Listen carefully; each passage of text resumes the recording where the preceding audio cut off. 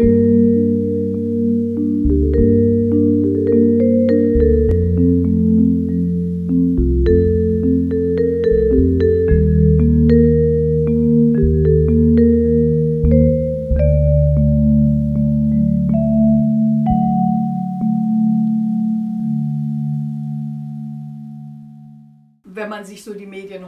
anguckt, könnte man meinen, die Geschlechterwelt ist in Ordnung da. Man sieht viele Frauen, die berichten, analysieren, manchmal auch kommentieren. Wie kam es, dass Sie in diesem Kontext Feministin wurden und wann war das? Ja, das liegt eine ganze Weile schon zurück. Äh, in den 50, äh, 75er Jahren, so um 75 herum, äh, hatten wir das Jahr der Frau. Und da brachte der Deutschlandfunk äh, aus Anlass dieses Jubiläums etliche äh, Kommentare und äh, Berichte, die gesendet wurden. Und der Intendant kam auf die Idee, machen wir doch mal einen Band all dessen, was in diesem Jahr gesendet wurde zum Jahr der Frau. Und ich bekam diese Aufgabe, alles zusammenzustellen und dann gab es also diese, nach Abschluss der Arbeit, diese Dokumentation zum Jahr der Frau aus dem Deutschlandfunk. Und als ich die durchsah, habe ich gedacht, ist ja nicht so viel, was da gesendet worden ist. Und habe mir auch erstmal angeschaut, was steht denn da drin. Und ich denke mal, dass das der erste Ansatz war, mich näher äh, mit den Problemen der Frau zu befassen. Dazu hatte ich vorher äh, keinen Anlass gesehen. Doppelbelastung von Frauen war für mich kein Thema. Äh, ich lebte gut dahin und hat mich die Problematik gar nicht beschäftigt. Und es hat es auch damals gar nicht direkt danach Anlässe gegeben. Aber dann schritten die Zeiten voran und dann äh, gründete sich allmählich äh, das Netzwerk der Medienfrauen in den Rundfunkanstalten. Äh, und da habe ich gedacht, ach, das ist etwas, was mich also doch auch interessieren würde. Dann wurde ich also inzwischen auch, nachdem ich meine Aufgabe als äh, Pressechefin des Deutschlandfunks äh, abgegeben hatte und in die Intendanz gewechselt war zum in, damaligen Intendanten Reinhard Appel, kam dann wieder so zum ersten Mal äh, die Frauenfrage wieder hoch. Aber sie hat mich nicht so allzu sehr äh, beschäftigt. Sie sind ja damals 75, waren Sie 40 Jahre alt? Ja. Ja, da waren Sie also eine Weile da Referentin des Intendanten, erst des einen, dann des anderen. Ja. Und äh, wenn ich das richtig verstanden habe, war es vor allem dann Ihre Tätigkeit in der Aus- und Fortbildung. Die Abteilung haben Sie ja dann anschließend geleitet, Ja. ja. die bei Ihnen dann noch so ein paar Lichter hat aufgehen lassen. Ne? In der Tat, ja. Erzählen ja. Sie mal. Ja, äh, die Aus- und Fortbildung äh, lag in allen Rundfunkanstalten im Argen. Und äh, die ARD gründete dann die sogenannte Kommission Aus- und Fortbildung und wählte Herrn Becker zum Vorsitzenden. Und dann sagte er, das ist doch eine tolle Aufgabe für Sie. Wir bauen die Geschäftsführung auf. Ich bin der kommissarische Vorsitzende, äh, bin der Vorsitzende, Vorsitzende der Kommission Aus- und Fortbildung und Sie organisieren das alles. Und dann sage ich, Herr Becker, wir haben ja noch nicht mal selber hier eine äh, Aus- und Fortbildung äh, im Haus. Das müssen wir doch auch erstmal machen. Da sagt er, ja, das können wir ja alles machen. Und das haben wir dann auch alles gemacht. Und die Aus- und Fortbildung nahm einen solchen Schwung ein bei der ARD. Das kam mir zugute, äh, weil ich auch mittendrin in einer so tollen Aufgabe war, die äh, Aufbauarbeit äh, zu leisten hatte, die noch heute Spuren hinterlassen hat. Und da kamen ja dann auch Frauen in die journalistische da Ausbildung. kamen Frauen in die journalistische Ausbildung und zwar auch äh, von daher äh, hatten wir im Deutschlandfunk einen Bildungsausschuss äh, gegründet und komischerweise ergab es sich, dass die Frauen auch besser vorgebildet waren durch Praktika und alles und dass sie bei äh, den Runden, die wir zum Vorstellungsgespräch eingeladen hatten, brillierten und besser waren als die Männer. Also haben wir gesagt, bilden wir die Besten aus. Ich bin immer noch der Meinung, dass die Besten ausgebildet werden äh, sollten und die Besten auch genannt werden sollten. Ne? Mhm. Und so kam es, dass der, An, äh, äh, ähm, naja, der Anstieg der Frauen in der äh, Aus- und Fortbildung äh, wirklich nicht nur im Deutschlandfunk stieg, auch in allen Rundfunkanstalten merkte man an den jährlichen Statistiken, die ich dann zu erstellen hatte, äh, Anstieg.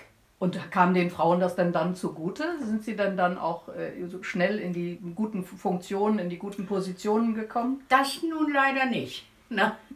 da zeigte sich dann wieder, dass die Männer doch bevorzugt wurden. Das ging schon los nach Ende des Volontariats, wo die Männer äh, Festanstellungen äh, angeboten kriegten und die Frauen nur freie Beträ äh, Verträge. Daran hat sich meiner Ansicht nach bis heute nicht viel geändert. Aber das hat Sie damals doch schon gefuchst. Das hat mich sehr gefuchst und habe ich gedacht, so jetzt muss ich was für Frauen tun. Ne? Ja. Und habe dann eben halt versucht, was zu machen war. Ne? Mhm. Was war denn zu machen? Das war zu machen, dass man also auch äh, äh besonders äh, dafür sorgte, dass äh, sich mehr Frauen äh, bewarben, um hohe Fortbildungsmaßnahmen antreten zu können. Wenn ich nicht zu den einzelnen Frauen hingegangen wäre und habe gesagt, macht ihr mal einen Führungskurs. Die Männer machen das alle. Ihr kommt äh, äh, dadurch, dann habt ihr vielleicht einen Schritt. Und so bin ich dann also dazu gekommen, auch in enger Zusammenarbeit mit dem äh, Personalrat. Mit dem hatte ich ein sehr gutes Verhältnis, äh, sodass wir gemeinsam also an einem Strang äh, zogen, vor allen Dingen auch im paritätisch besetzten äh, Bildungsausschuss. Sie waren ja äh, seit 1978 auch ehrenamtliche Vorsitzende der Auswahlkommission für die Vergabe von Stipendien von Journalisten in Europa. Haben Sie in dem Kontext auch Frauen fördern können? Oh Oder? ja, das konnte ich in der Tat. Ähm, diese hm, Organisation in Paris ansässig äh, hatte die Aufgabe, jedes Jahr äh, eine äh, Journalistin oder einen Journalisten auszuwählen und ihm ein neunmonatiges Stipendium in Paris äh, anzubieten. Und dazu äh, gab es also eine Auswahlkommission und diese Auswahlkommission wurde äh, vom äh, Intendanten äh, Becker äh, ähm, übernommen und nach kurzer Zeit sagte er, ach, Sie sind da so gut drin, das könnte eigentlich Sie alleine machen. Und da hatte ich dann einen Fürsprecher mit, äh, das war der äh, Charlie Geibel äh, von, damals war der Chefredakteur der Stuttgarter äh, äh, Zeitung äh, und, oder Stuttgarter Nachrichten, muss ich nochmal nachgucken. Ähm, und wir haben dann dafür gesorgt, dass da in erster Linie wirklich die besten Frauen hinkamen.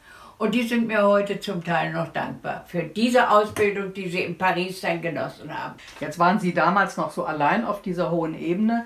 Und dann hat sich ja irgendwann auch relativ spät eigentlich erst der Journalistinnenbund gegründet, ja. wo man ja dann ein Netzwerk vorfand. Ich möchte mal vorlesen, was ja. Gisela Brackert, Redakteurin äh? damals beim Hessischen Rundfunk, wie die das auch so ein bisschen angetrieben hat ja, oder genau. angetriggert hat, mhm. indem sie einen offenen Brief geschrieben hat und da gefragt hat, ist Ihnen auch schon aufgefallen, ja. dass die medienpolitische Diskussion nur unter Männern stattfindet? Dass die Berufsperspektiven von Journalistinnen niemals Thema unserer Berufsverbände waren? Und drittens, dass wir Journalistinnen uns zwar gern zum Sprachrohr der Initiativen des Ärztebund, Ärztinnenbundes, der Frauen in den Naturwissenschaften und Technik, der Akademikerinnen etc. machen, aber selbst kein Sprachrohr für unsere Interessen und unsere Sicht der Dinge haben. Das heißt, äh, die Frauen haben einfach auch so vor sich hingearbeitet, haben sich für andere engagiert und gar nicht mal so richtig auf ihre Situation geguckt oder nicht genug. Und dann aber 1987 hat sich dann der Journalistinnenbund gegründet Und ein Jahr später sind Sie schon dabei gewesen. Ja, Das war also quasi, das hatten Sie so ein bisschen fast drauf gewartet, nehme ich an, oder? das kann man wohl sagen. Als ich erinnere diesen Brief, den Sie vorgelesen haben, eben ganz genau noch von Gisela Brackert, als der kam, habe ich noch am selben Tag gedacht, da muss ich hin, da muss ich rein und gehörte dann also auch zu äh, den Teilnehmerinnen äh, des äh, ersten Kongresses, zu dem Gisela Brackert eingeladen hatte. Und das war also in Frankfurt äh, 1988. Und seitdem habe ich jede äh, Jahrestagung, die der Journalistinnenbund mit einer Ausnahme besucht. Und die Ausnahme bisher war im letzten Jahr Corona bedingt, bin ich nicht nach Berlin zur Verleihung äh, der Journalistenpreise gefahren und zum, äh, ähm, zur Mitgliederversammlung des Journalistinnenbundes. Können Sie sich noch so an den Geist und die Diskussionen in den ersten Jahren erinnern? Gibt es da was Rausragendes, wo Sie sagen, ah, das hat uns beseelt oder hier, das war eine harte Diskussion oder das wollten wir unbedingt erreichen? Oh ja, es äh, äh, ging vor allen Dingen in allererster Linie darum, den Anteil der Frauen in den Medien äh, zu erhöhen. Und da kam uns natürlich zugute, dass die Weltfrauenkonferenz äh, 1995 kam, also ein Jahr nachdem ich da äh, schon Geschäftsführerin war, äh, äh, kam, war, war das, ja, 95 und da bin ich dann nach Peking gefahren und habe die erste große Untersuchung, die der Journalistinnenbund äh, gemacht hat, über das Bild der Frau in den Medien in Peking vorgestellt. Das war für mich ein super Ereignis meines Lebens. Das glaube ich. Unter so vielen tollen Frauen sowas vorstellen zu dürfen. ja, das glaube ich. Mussten Sie da Englisch sprechen? Nein, da konnte ich, äh, wurde äh, äh, simultan. Übersetzt. Ja, ah, ja, ja, ja. okay. Was war das für eine Studie? Was haben Sie da Das war, rausbekommen? äh, das war äh, ich habe äh, später die Studie fortgeführt, das Präsenz von Frauen in den Nachrichten. Und wir, ich habe die alle fünf Jahre bis zwei, äh, 2010 äh, gemacht, um zu sehen, wie gibt es also Fortschritte. Das äh, fing mit 18 Prozent an und liegt jetzt so bei etwa 30 Prozent äh, äh, äh, Bundes, äh, nee, nicht nur bundesweit, sondern äh, je nachdem auch so weltweit hat sich das also äh, nur in einem Maße erhöht, der höher sein sollte, wenn man bedenkt, wie viel Macht die Männer noch haben. Und können Sie sich noch erinnern, was da jetzt so die wichtigsten Erkenntnisse waren?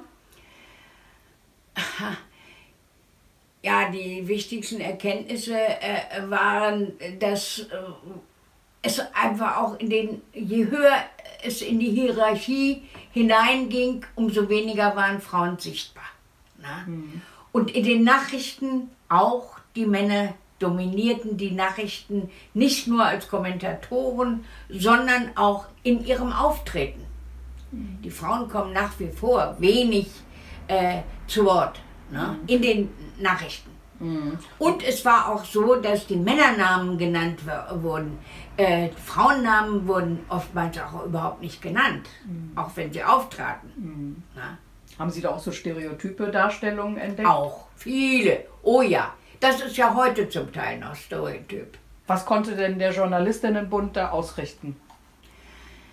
Äh, der konnte zumindest ausrichten, äh, dass das Thema äh, Beachtung fand.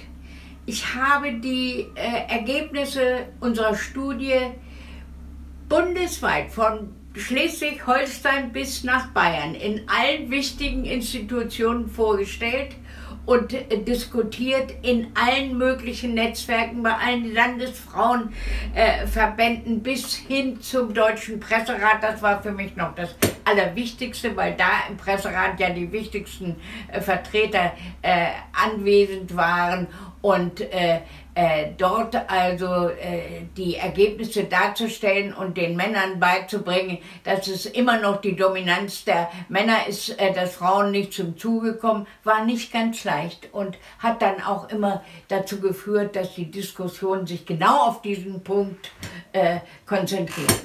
Damit gaben sie natürlich den Frauen, die jetzt in den Medien äh, ja. wirkten, Munition in die Hand, ja. um in der Redaktionskonferenz zu sagen, so, jetzt genau. machen wir das aber ja. mal anders. War das so? Hatten ja, ja, das äh, denke ich war zum Teil so.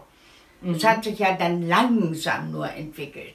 Äh, sie haben ja einen Nachwuchsförderpreis ja. äh, ins Leben gerufen und selbst gestiftet auch. Ja. Erzählen Sie mal davon. Ja. Äh, mir war natürlich aufgefallen, wie die Benachteiligung der Frauen war.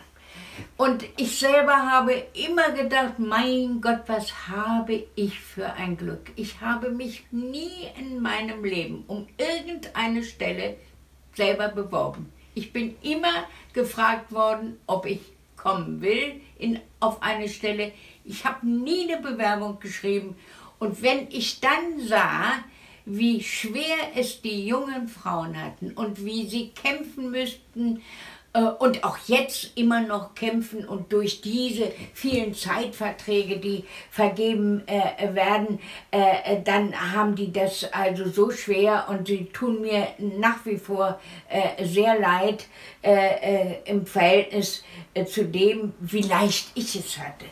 Und dann habe ich gedacht, du musst da irgendwas zurückgeben du hast so viel Glück gehabt und äh, jetzt, und du hast dann, das war ja schon, als ich in Rente war, du hast eine so gute Rente durch den Rundfunk bekommen. Nun gib da mal was für den äh, Journalistinnenpreis her und habe dann anonym gespendet. 1000 Euro sind im nächsten Jahr sind es immerhin 20.000 Euro. Das mhm. habe ich mir neulich mal gedacht, oh, es kommt ja doch einiges zusammen im Laufe der Jahre. Äh, und äh, habe den dann im Journalistinnenbund eingebracht und habe gesagt, aber nur unter der Bedingung anonym. Ich will nicht, dass mein Name in, kommt. Das war im Jahre äh, 2002 und äh, äh, dass er erstmals verliehen wurde als äh, unter dem äh, ähm, äh, äh, unter dem Namen ähm, neue neue Töne und vorher war es was jetzt komme ich neue Bilder und neue Töne? Nee, nee, neue Worte, neue Töne so ähnlich. Naja, also wir können es ja noch nachprüfen. und äh, dann ist er auch wirklich unter dem Namen gelaufen und äh, viele Jahre und äh, es war auch nicht bekannt, dass äh, der Preis von mir kam. Da sagte äh, äh, dann ähm, Andrea Ernst auf der Jahrestagung in München, Malis, wir möchten, dass der Preis nach dir benannt wird. Und zwar aus dem Grunde, weil wenn du anguckst, wie viele Preise es gibt, alle Männer, die das gestiftet haben, nennen ihren Preis und dann nannte sie eine Reihe von Namen und die überzeugten mich derart, dass ich gesagt habe, Andrea, du hast recht. Also ich bin damit einverstanden und seitdem gibt es diesen Malisäse Nachwuchspreis, äh, den wir gerade in der letzten Woche äh, wieder äh, vergeben haben. Ja. 2003 ähm, hat Ihnen ja der Journalistinnenbund die Hedwig-Dom-Urkunde zuerkannt und überreicht feierlich. Das war für Ihre journalistische Arbeit, für Ihre journalistischen Leistungen, aber auch eben für Ihr frauenpolitisches Engagement. War das was, was Sie sehr stolz gemacht hat, was ja. Ihnen wichtig war? Ja.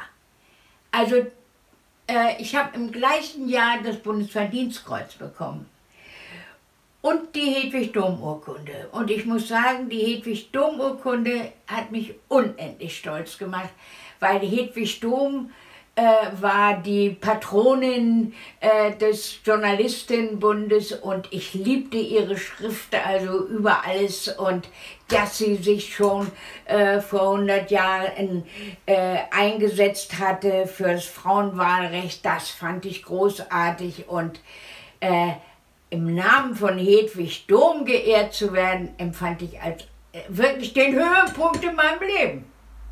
Na? das muss ich schon sagen. Sehr schön, ja. Was äh, würden Sie denn sagen, was für Anliegen und Talente haben Sie selbst eingebracht in den Journalistinnenbund? Ähm, meine Beharrlichkeit, dass man doch etwas erreicht, sehr viel äh, äh, Engagement, auch äh, dahingehend, dass ich die Geschäftsführung des Journalistinnenbundes als Fulltime-Job ausgefüllt habe. Ich habe äh, so viel gearbeitet, wie ich vorher in der Festanstellung gearbeitet habe und das alles, also wirklich ohne jede Bezahlung.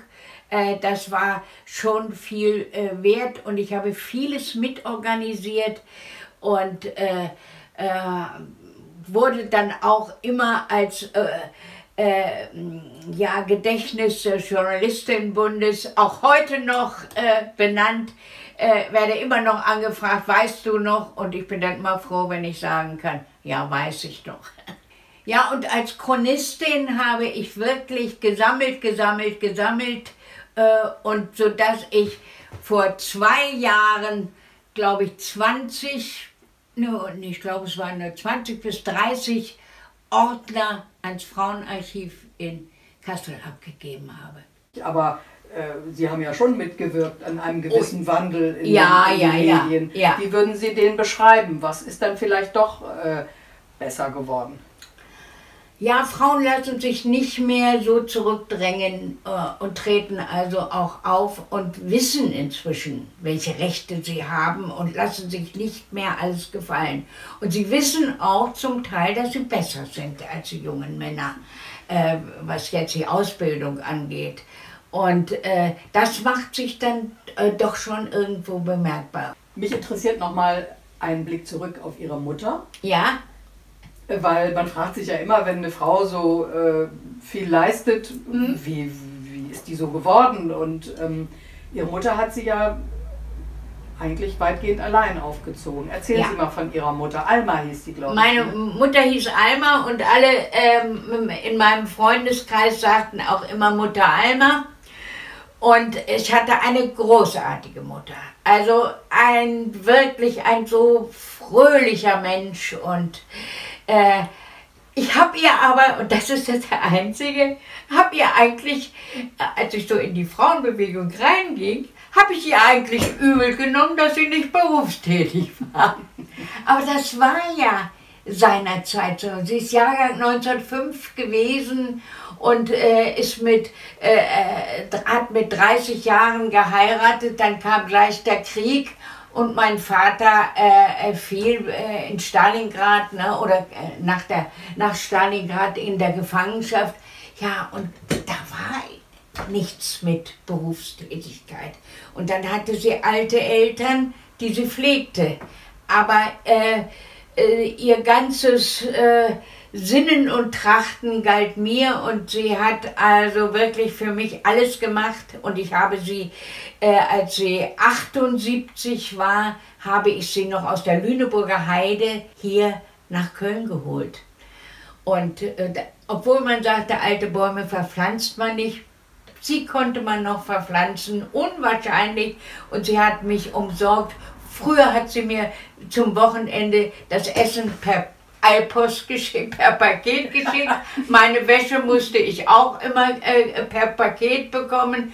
Und als sie dann hier war, äh, hat sie dann hier rundum für mich besorgt. Und sie war immer, wenn ich Freunde hatte, der Mittelpunkt durch ihre äh, wirklich fröhliche Art äh, und unkomplizierte Art. Mhm. Man sagt ja immer, hinter jedem erfolgreichen Mann steht eine Frau und hinter, ja, hinter ihm stand bei mir. Ja, in der Tat. Ja.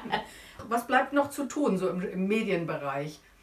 Was würden Sie sagen, was wünsche ich mir noch? Also ich würde mir äh, gewünscht haben, dass also äh, die Intendanz äh, in, beim ZDF von einer Frau übernommen worden ist. Hat aber ja leider nicht geklappt. Aber dass also die Zahl der Intendantinnen nicht bei, es sind jetzt äh, vier, äh, bleibt, stehen bleibt, sondern dass Frauen also wirklich die Karrieren nicht äh, durch äh, Männer behindert werden.